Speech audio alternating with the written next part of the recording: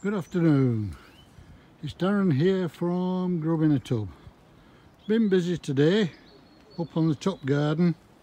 So as you can see here these are Sturon onions multi-sown from seed and they are doing fine. Uh, we put them in this afternoon and uh, there's quite a few in there not too bad. Over on the uh, this bed there's uh, a couple of overwintered uh, brassicas and there's three chard plants. Uh, I've just put some spring cabbage in and uh, they're looking good. Not too bad at all. Plenty of room from all we'll come up to the second bed. And in here we've got some greyhound cabbage on one half and some spinach banjo on the other half so uh, on this one.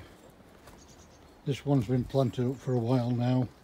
We've got some multi-sown radish which really stood up well. And again there's eight brassicas that were overwintered. Uh, again I can't tell you what they are.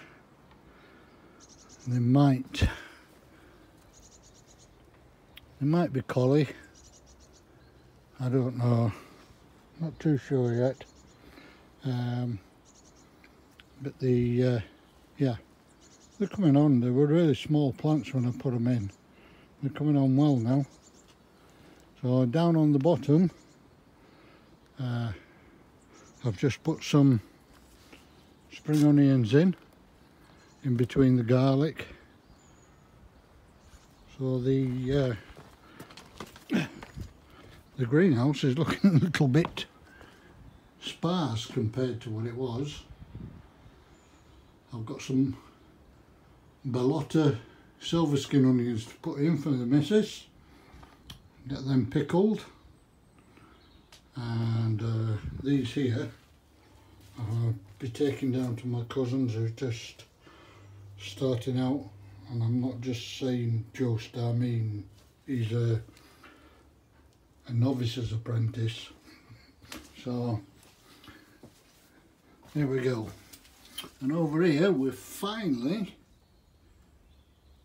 not the jalapenos coming up good and proper on that side. And on the other side the two different types of gherkin are coming up.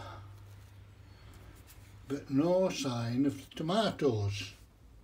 Oh well maybe one maybe one just there. But uh, the sweet million no sign of at all and I thought they'd have been up by now more than any but uh, never mind. So we've got uh, some salad coming on nicely. About uh, eight different varieties of, of, leaves at the back. In fact I can move them around to the front. And then there's some dwarf kale and the uh, what's that there that could that's one of the sunflowers just starting to uh, come through just there. So that's not too bad. Is that another one there? No it's not. The beetroot won't be long as I'll be putting that out. And then up on the top we've got some cauliflower sprouts and swede best of all. So the uh, the kale I've now taken out and put out into the garden with some canes for support. So I've just got to try and keep the pigeons off it. There we go. So hope you all have a good day. Get out in your garden while the weather's good. Grow your own eat well and live well. Thanks for now. Bye